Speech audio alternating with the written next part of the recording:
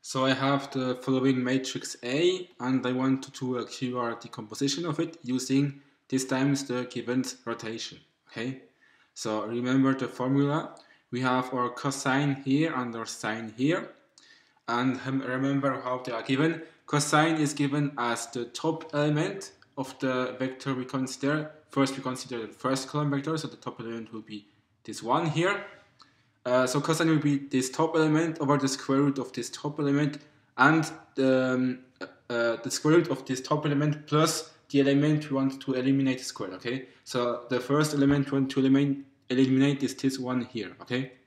So it will be 1 over square root of 1 squared plus 1 squared, so it will be 1 over square root of 2.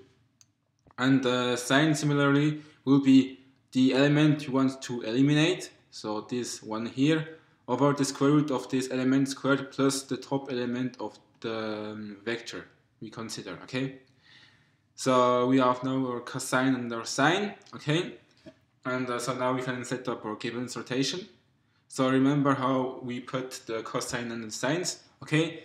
The cos, the first cos, cosine is uh, in the uh, uh, is ith row and ith column, okay? So i being the um, the um, the row of the element you want to eliminate. Okay, so if i is the row of the element we want to eliminate. Okay, so here i is two.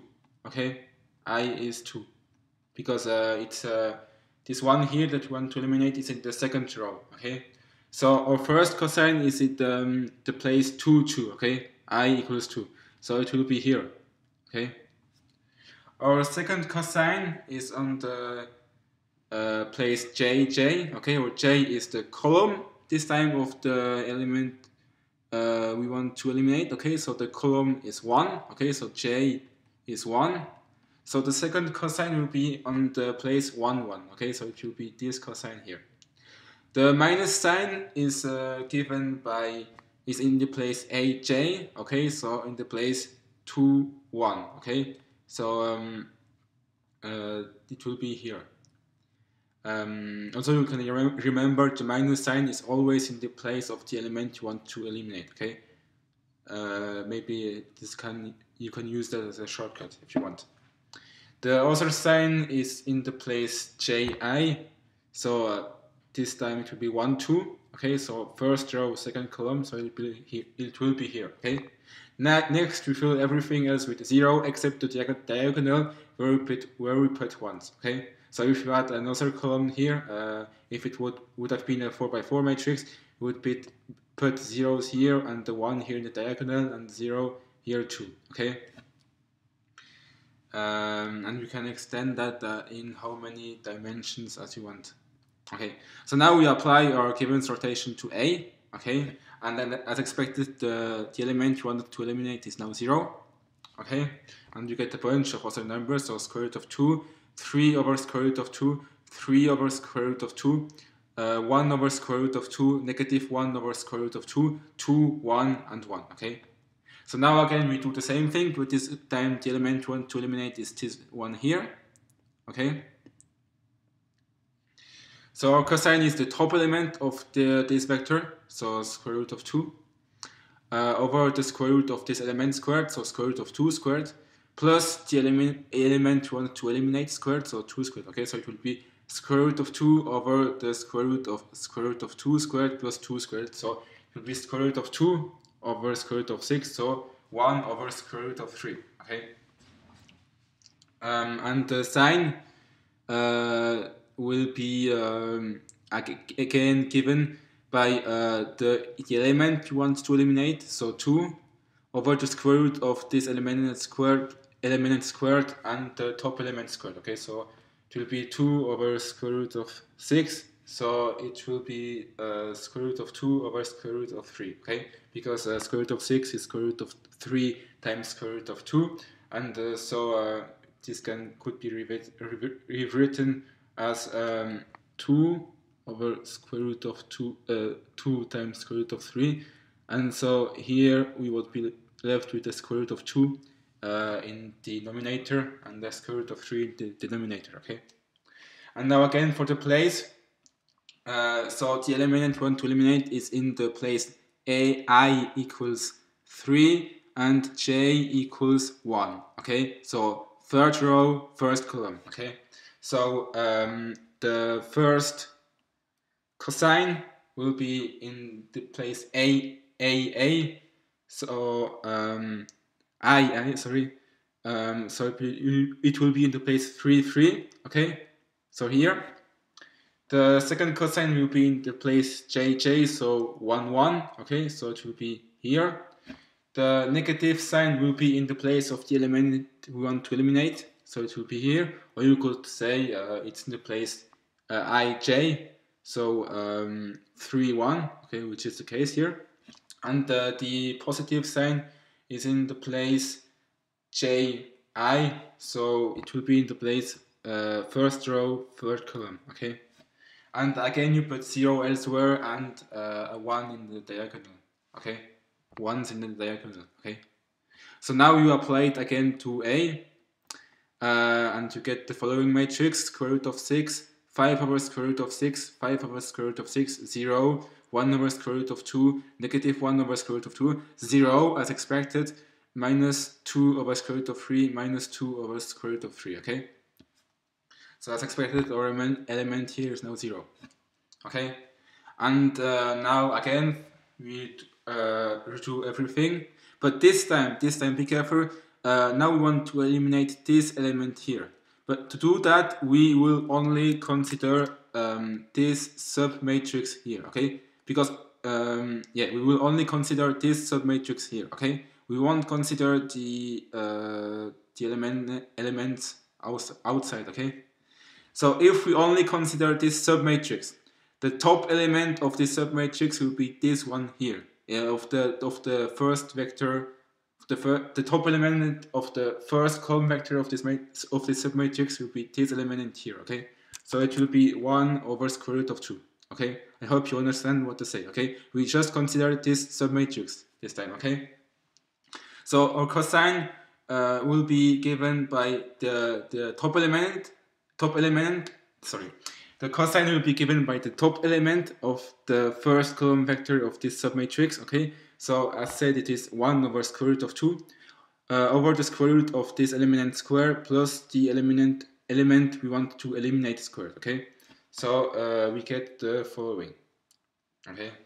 I hope you can read it. So it's 1 over square root of 2 over the square root of 1 over 2 uh, plus 3 over 3, okay? uh, 4 over 3, sorry. Uh, and our sign will be given by the element element we want to eliminate, okay, over the square root of this element squared uh, and the top element of the, the first column vector of this submatrix squared, okay. So we will get minus 2 over square root of 3 over the square root of 1 over 2 plus 3, uh, 4 over 3, okay. And again, now our third uh, rotation will be of the following form. So um, the element we want to eliminate is uh, in the third row, second column. Okay, so i uh, i equals um, 3 and j equals 2. Okay, I hope you can read it. Um, and so uh, our first cosine is in the place i i so it will be uh, in the place 3 3 okay? Our second is in the place jj so uh, 2 2 so it will be here. The negative sign is in the place of the element we want to eliminate okay? Or it is in the place aj so um, 3 2 okay? Which is the case here. And uh, the positive sign is in the place um, uh, ji so in the place 2 3 so here okay. And again you put zero elsewhere and the ones in the diagonal. Okay so there is a one here okay now you apply it again to um, uh, yeah the the um, as a first rotation okay? Um, and you you get the following result okay? So as expected we have a zero here again okay? And so now we have our upper triangular matrix R okay? So this is R. And so remember that A is equal to QR and Q transpose A is equal to R. So we have already found our R. And to find our Q, we know that q transpose is equal to uh, the um, um, j3 times j2 times j1 or if you read it this way j1 times j2 uh, uh, uh, g1 times J, g2 times g3 okay? Um, yes. Um, so you can find q if you take the transpose of everything. Okay? And uh, so you then you can find the the QR decomposition of your matrix. Okay? And remember all the all we made all we all we did basically is we applied several rotations to the column vector of this matrix uh, in such a way that um, each time we apply a rotation we um, we we we move basically our vector on the coordinate axis okay? So um, for example for this first column vector here 1 1 2 uh, here we are in three dimensions so we can uh, still visualize it okay? So we have our vector we have our z axis x axis and y axis okay. Uh, everything we did um, first we rotated in such a way that the y component is zero okay? So we basically we um, uh, we projected it on the um, uh, let me choose another color